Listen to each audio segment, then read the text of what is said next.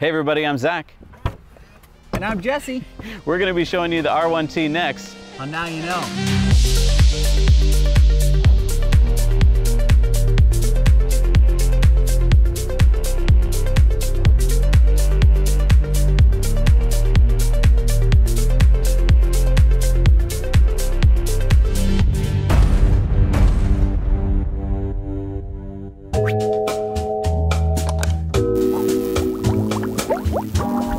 This week's episode is sponsored by Blinkist. Zac and I are super busy between researching, writing, filming, corresponding, interviewing. You get it. Well, for most of us, there just aren't enough hours in the day to get everything done. And Fill your brain with all the things you're curious about. I love podcasts and books, but unfortunately, they take a long time to digest. And that's why we both use Blinkist. With Blinkist, you can get the key ideas from nonfiction bestsellers in minutes, not hours. Blinkist not only blinks books, but it also blinks podcasts. They're called shortcasts. So you can get to the powerful ideas of a podcast in about 15 minutes or less. I like to listen to short casts and blinks while I'm driving, going for walks, cooking. Then, if I like something, I can really dive in.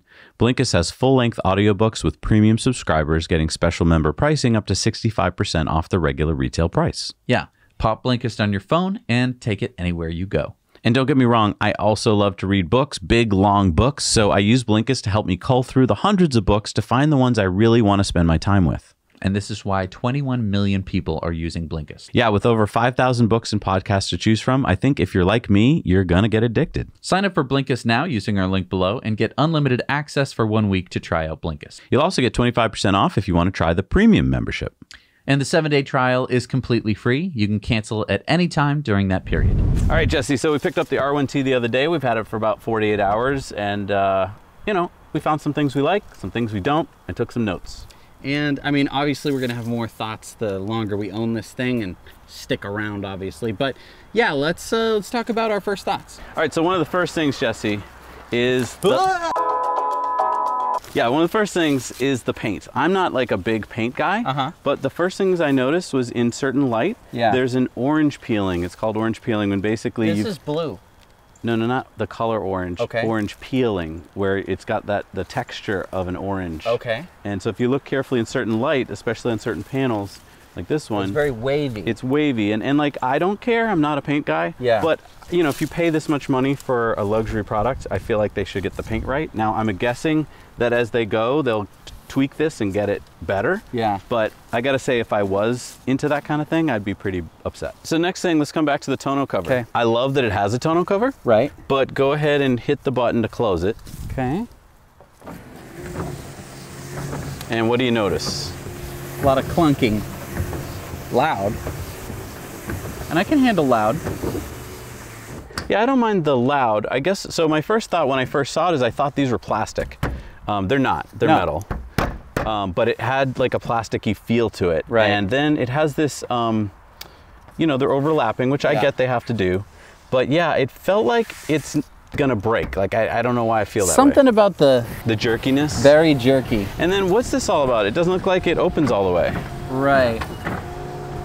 Like, cause wouldn't that take up some of your space that you need in the bed? I definitely think so. I thought when we first picked it up that this would go all the way. I thought so too. So I'm a little worried that we might have it might have already broken. We're just getting like little pine needles and stuff on here, but like, you know, you leave it parked out for a while, Like snow. I'm open it again. No one Ice can hear me. Ice and snow. Ice and snow. There's no like brush or anything. And also, this kind of flexes up and down, and then that click sound. I mean, maybe it's just locking into place. I don't know. It's a little weird. And the the thing is, you know, most people, most truck owners probably don't care if Right. the tonneau cover's on and off, but Range. range is going to be super heavily affected by this. And again, normally with a gas truck, you don't care, um, but because it's electric, uh, You want to keep it closed as often as you can. right? All right, next up is uh, the gear tunnel step. So open that up for us. Sure. There's a little button right there. And then you pull down, and there's one on the other side as well. Yeah. So this, I love this feature because first of all, it lets you into the gear tunnel. And I can also step on it. Okay, but here's where I have a little problem. So Ooh. first thing is, look at the flex in that step. It's rated at 250 pounds. You are not 250 pounds. Um, and I'm just a little worried that over time that that could. Well, I'm not all the way out. Like if I you stepped on it, That's a lot of torque. that's a lot of torque. So I don't know. I'm just a little concerned. Then, then what you're stepping on, uh, yeah, open up that plastic.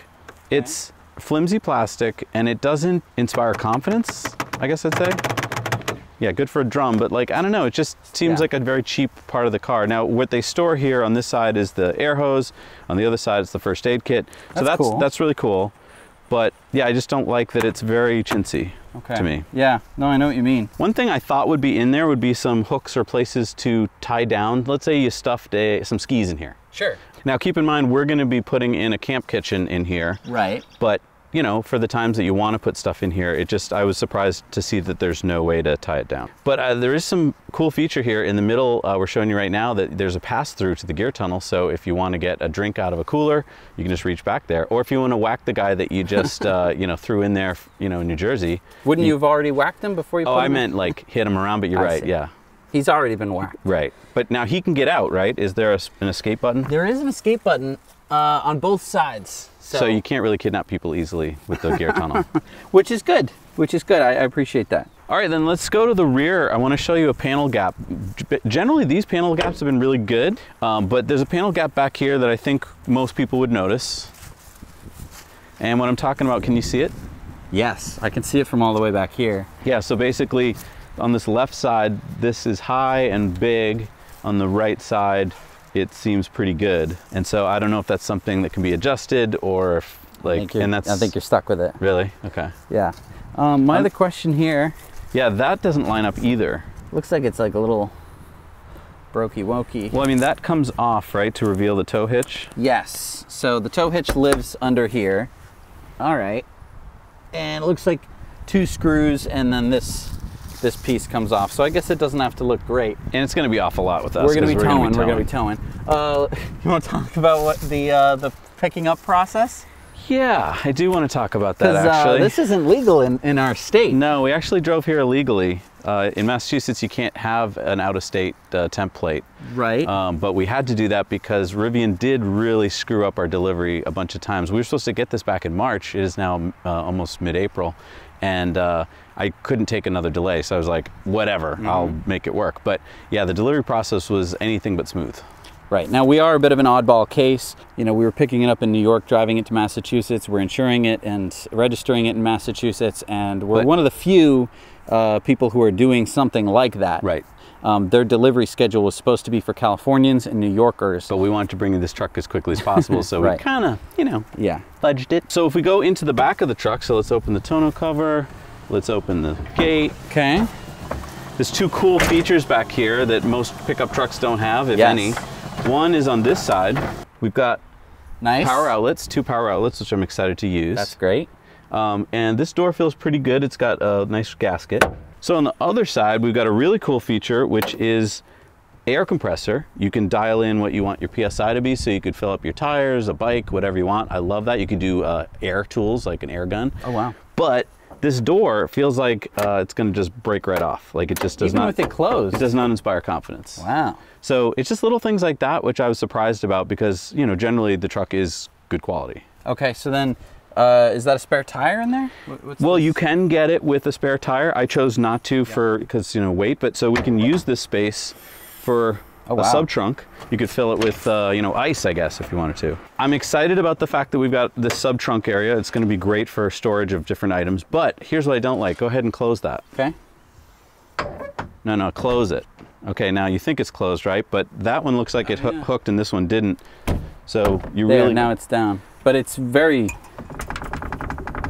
it's a lot little of ra- play. little yeah, a little And I mean, if you have something sitting on it, isn't it just going to be wearing stuff out? Maybe. know. Yeah. I don't know. Just uh, just wanted to point it out to everybody. And then this is not powered up; it's just powered down, so you got to close it yourself. And as Steven has said, he does not like it that you have to touch the paint when you're closing it. Oh, Um, I see. Yeah. It, I mean, it's part of the look to have the paint right here, but uh, on a lot of trucks, it would be more Yeah, rugged plastics. That way, if you're wearing gloves and the gloves are covered with what, Sand gosh knows right. what, yeah, you wouldn't be scratching up the paint right, Right. there. I mean, you could be really careful with it. You could be, if you really cared, you could. Yeah, Uh-huh, like that. Okay. If you were really thinking about it when you're closing up your truck because you put something in and you need it to stay and you close it like that. Yeah. So let's talk about something I wish came when we picked up the truck, which Yeah, are the cargo racks that clip onto here. They also clip on the top. They don't come when you pick up the truck. They ship them two weeks later. And I asked, could you ship them before I get the truck? No. Uh, also, the bike racks, no. So that means when you get home with the truck, you can't play with the I truck. mean, we have stuff to move. Yeah, we have to do stuff. And like Rivian thinks that they'll ship it to you later. I don't know if that's just an early problem. I hope it is, but I'm not fond of that. Uh, so let's talk about ride height. Right now we're in a standard setting, but this goes all the way down to very low, all the way up to very high. Uh, it goes from 9 inches to 15 inches, so a 6 inch travel. When it's very low, it looks like we're uh, like a low rider. Yep. And when it's very high, it looks like you could probably clear over anything. Wow. So I, I'm just surprised that they actually went to that extreme. It seems like they're going for rock crawling and stuff like that. And I don't know about you, but I just don't picture someone spending this kind of money on the truck would want to do that with the truck. But I don't know. What do you think? I'm, I'm not a truck guy. I feel like they need to address a large market because it's the first electric pickup truck. And so if they only did one thing, I think that people couldn't justify uh, paying for it. So I think that they went for a little bit of everything where they're going, you know, okay, you can rock climb in it, but you can also, you know, it's, it's definitely a just vehicle that you can drive around with the family. All right, let's go over to the frunk. There's a couple ways you can open the frunk. You can use the fob. You can also do it manually right here. There's a little hidden button right there. Oh, nice. And this is powered open and powered closed. Oh, that's nice. And so if we look inside, I'm really impressed. So I mean, look how big this is already, and this is actually a false bottom. Yeah, and go one more, and then the magnets catch that. Oh, nice. Yeah, and it looks like there's uh, water drains down there. Oh, that's cool. And it's a like a burping water drain. So I mean, you could fill it up with ice, um, keep your drinks in there. But um, there's a really cool uh, thing here to you know keep loose things like cables. Uh, this is your uh, mobile charging kit. oh, cool. These are the Rivian like special cables for tying stuff down in the back. Oh, wow. Um, so that's pretty cool. And of course, you get your child seat lower anchor ridge guides. Oh. But yeah, overall, man, look at this frunk. I am digging it. Humongous. And uh, there's lights, and there's 12 power- volt. 12 oh volt. wow! So we can put a cooler in here. And there's a button to get you out if you get locked in. And of course, this is where your windshield wiper fluid goes. Nice. All right. And it's powered closed. Although there's no beep when you close it, so make sure you know that. Yeah. Very, very odd. These are for Picking it up. picking. Don't throw your back out. All right, so the next thing I'd like to talk about is the sound system. Uh, normally we can't play songs because they're copyrighted, but we own this one, so uh, let's just pop that in there Okay. and uh, crank it a little.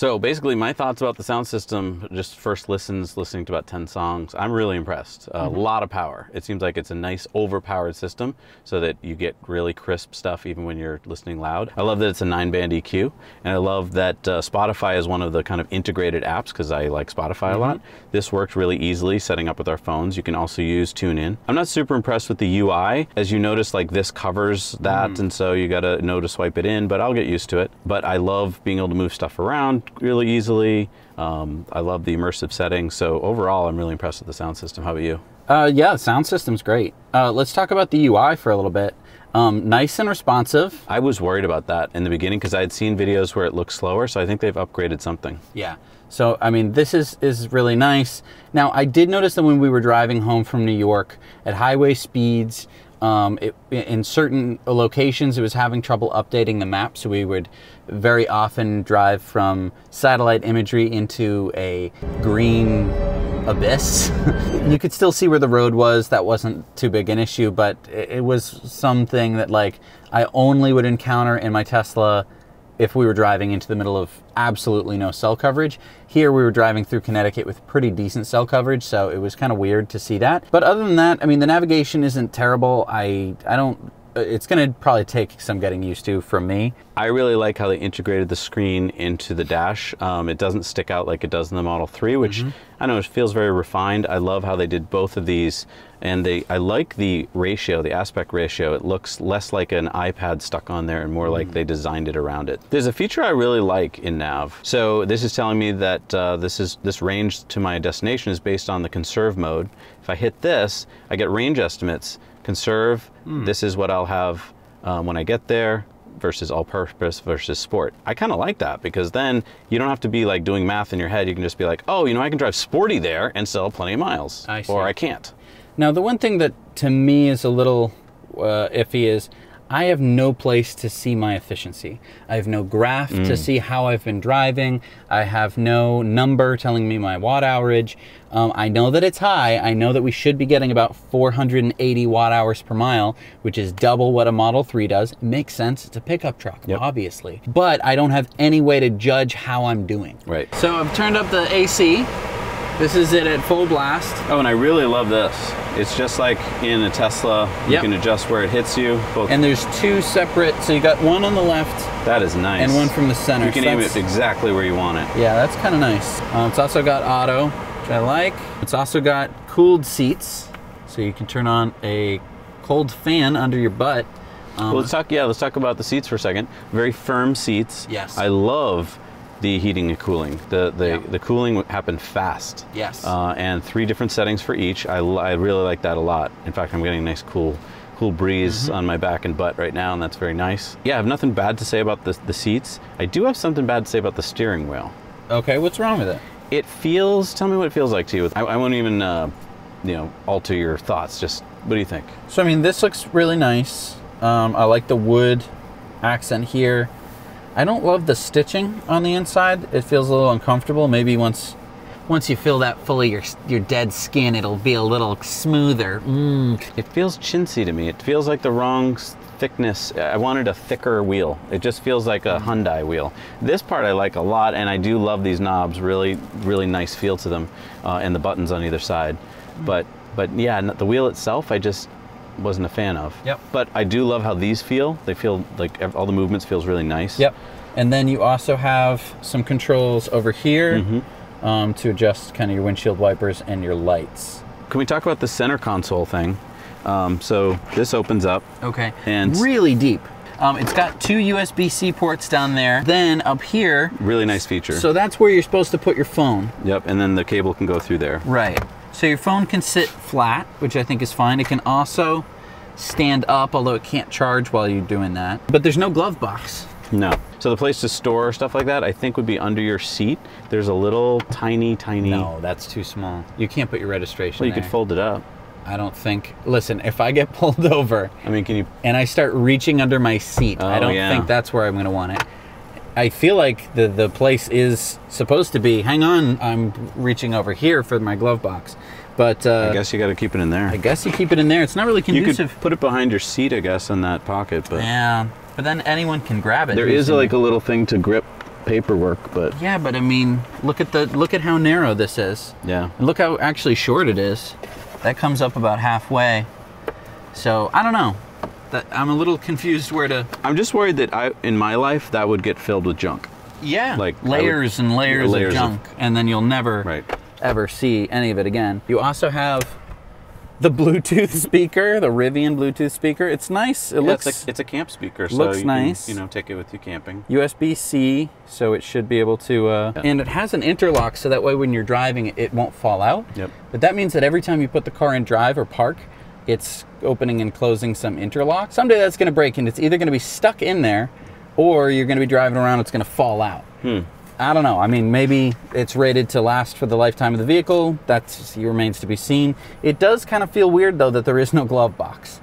So, can we talk about uh, Rivian's version of autopilot? Um, we drove it home from New York in that mode a lot, and uh, it did what it was supposed to Yep. for the most part. Every now and then, it would give you a warning that I don't know what this road is or something, Yes. even though it was well marked and you, would have to take over. It cannot change lanes on its own, you have to do that yourself, but it, it felt very reliable for the most part. There was one point when we were going through a tunnel and it said, take over.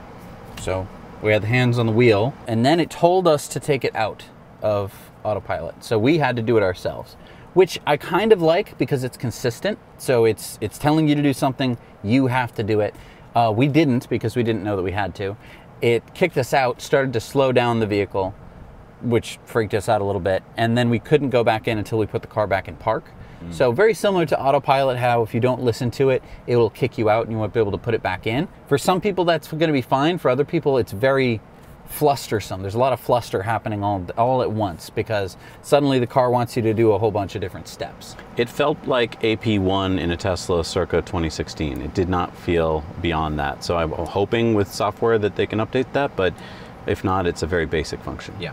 So I want to talk about the efficiency. Uh, we've calculated that it's 480 watt hours per mile. That's what's on the Monroney sheet. We'll give you an update as we drive more. 480 watt hours per mile, like Jesse said, is half as efficient as a Model 3.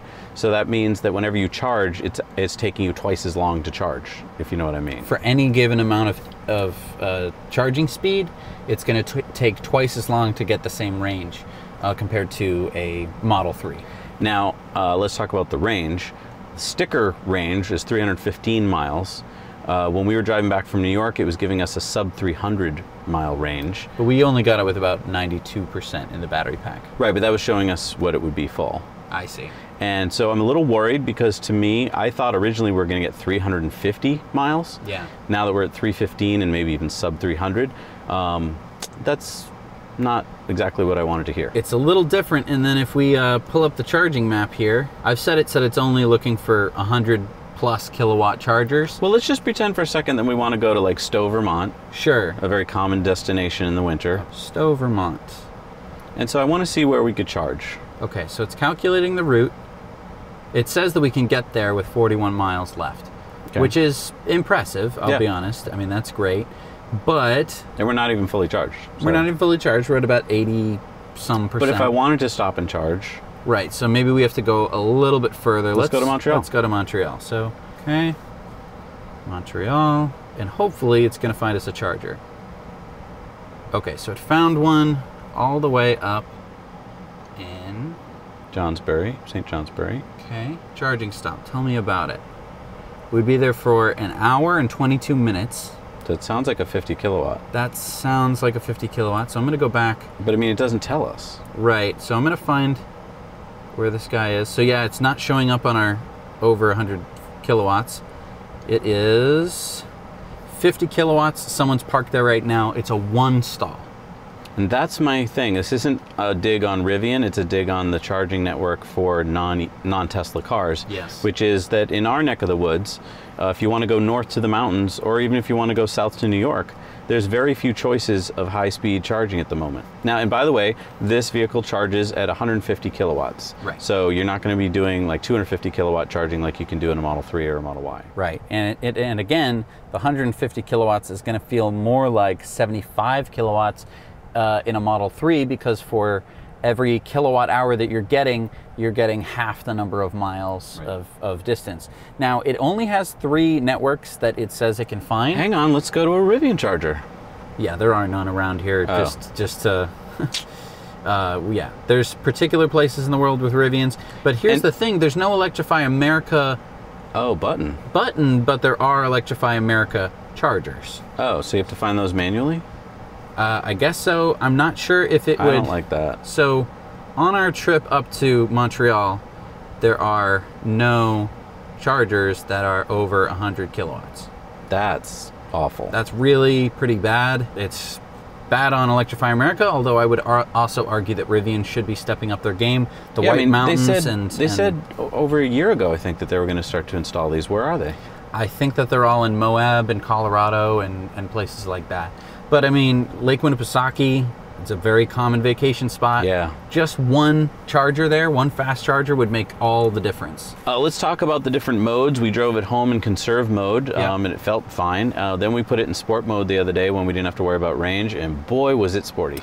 It felt like the Millennium Falcon. Yeah, it felt. it felt heavy, but it also felt very powerful. Yeah, I mean, it rivaled Sparky's P90D feeling. It just uh, having, I think it's what 150 kilowatt motors on four wheels. Yes. Just you felt it. It was. It was rocking and It was rocking. So that's really exciting. I can't wait to try that out some more. The other thing I want to talk about is the regenerative braking, which feels awesome. Very strong regen braking. You can Um, one pedal drive this thing. You can totally one pedal drive it. You can turn it down to standard. I love high. Here's the thing with regen braking. It's it's great to have regen braking, but then at a certain point, a lot of vehicles stop giving you regen braking. So like in my Leaf, it's very weak, and then you have to switch over to the brake pedal, um, and and you just end up with a completely different driving experience. I really, really, really, really like the regen on this. Super duper strong. suspension. Um, so when we were driving it, I thought for a while that we were in like the stiff setting, but then we saw that we were in soft. I didn't feel a lot of difference between soft and stiff, but it, it did feel, you know, uh, you're feeling a lot of the bumps. Now I'm used to driving like a van in, in my early years pickup truck, so to me this felt great. What did you think? felt really stiff, really terse to me. Felt really bumpy. Um, I'm used to driving over potholes. I live in New England. This is not new. Um, I feel like most of the cars that I've been driving for uh, recently have been soaking up the bumps pretty well. I'll hear it. The car will definitely shudder a little bit, but it won't. I won't feel it, and I won't get moved around. Kind of like uh, I feel like I'm I'm feeling every little perturbance in the road with this thing. It also might be because we were in the lowest setting, because obviously when you're on the highway, it puts you in the lowest that conserves the most amount of energy. Um, but I think it might make for a more terse ride. More experimentation needed. Uh, cool feature is their little trick flashlight in the door there. It's the 7777th battery. Uh, it's kind of a cool thing. It's using 18650s, just like in Sparky, I believe, and it's double stacked. Um, to me, this 135 kilowatt hour battery is circa 2016. Really? Yeah, there's, I don't think there's any tech beyond what uh, you know a 2016 Tesla has. So I feel like there's just a lot of extra weight. This vehicle is 7,200 pounds, and uh, that's why I think the watt hours is so inefficient. And I feel like we're really going to feel that when we drive it a little more aggressively. I think that we're really going to feel it want to corner a little bit differently. Obviously, it has humongous tires. Let's talk about the tires for a second. Yeah, we had a bunch of choices. These are 20 inch, um, and yeah, all terrain, Pirelli, Scorpions. I love the brand, I love the, the tires, but yeah, they're going to be expensive to change. And I don't know if I got the right choice, to be honest, because like half the time I'm going to want a highway tire, and half the time I'm going to want a complete off road tire. So I had to choose like the in between, which isn't really good for either. But I think that most of the time people would probably go for the highway tire um, as opposed to going for off road. It depends on your use case. Um, I think, but like for like the average family who's only going to go camping like once a year, you probably don't need the off road tires. Uh, it's probably not something that you're even going to like change out or something. I feel like you just keep the highway tires. They're probably going to be big and beefy enough to get you around, but. Um, yeah, we want to do a little bit of crazy stuff, some crazy YouTuber stuff. Speaking of crazy YouTuber stuff, uh, we didn't get the camp kitchen because we're going to build our own. And we think we're going to build one that's even better and cheaper than theirs, so we're going to be showing you that. The other thing we didn't get, which I want, is the tent. But we are going to get the same exact tent from Yakima. Uh, we're just going to go pick it up uh, separately at REI. We're going to get it cheaper, and we think it's going to work. We're not 100% sure. That's going to be an adventure We'll we're going to go work. do. We'll make it work. Let's find out. Right. I love sitting in the rear seats actually in this car because the skylight is just beautiful. Uh, the sound system sounds great back there. It's just a really wonderful ride. So I'm really excited because normally you think of a pickup truck and you think of the rear seats as like a, you know, afterthought. Here, a lot of leg room, and I'm really excited that this is like a luxury car almost. There's a lot of stuff we're going to show you. What I want you guys to do is put down in the comments what you want us to do with this truck because we got it for you. We got it so that we can show you all the features, answer all your questions. So ask away. We will try and get those answered for you. Well, thank you so much for joining us today. I hope we showed you some good and introductory features of the R1T. Uh, we're going to be bringing you way more content. Make sure you put comments down below on what you want to see. We'll see you next week. Now you know. I fit. That's cool. yeah.